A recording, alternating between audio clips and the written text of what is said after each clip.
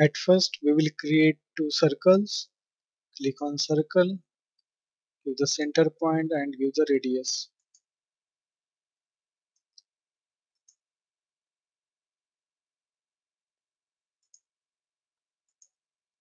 Then I want to create arc between these two circles.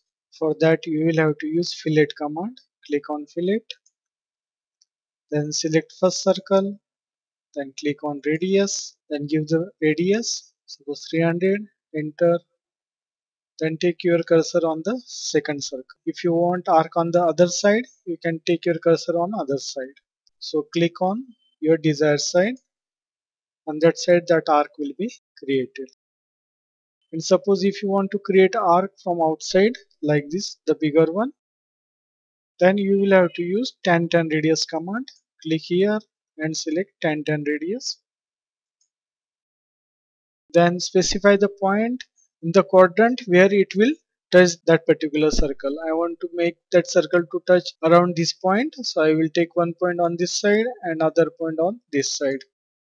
Then give the radius suppose radius is 2000 enter.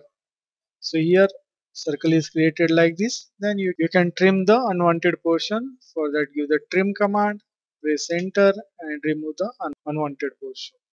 Then press enter so in this way you can create arc from inside or outside. And if you want to create arc from inside using tan tan radius then you will have to give those point in those areas. Suppose again I will click on tan tan radius. Then in this case you will have to give point in the inside area. One point will be here other will be here.